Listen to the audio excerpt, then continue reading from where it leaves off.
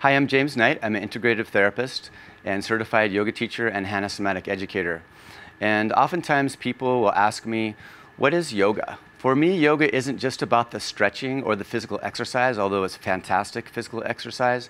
It's more about cultivating self awareness and inner peace.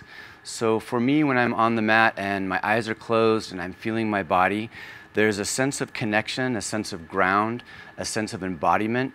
Um, oftentimes throughout the day, I'm a multitasker, I'm doing many things, and so um, I can get, you know, before I know it, my muscles can be tense. So when I'm on the mat, it's really about self loving and self accepting where I'm at at that moment.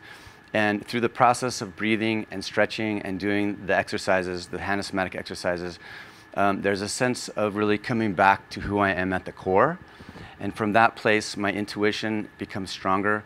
I can hear my body's messages. And so throughout the day, on and off my mat, I can take better care of myself.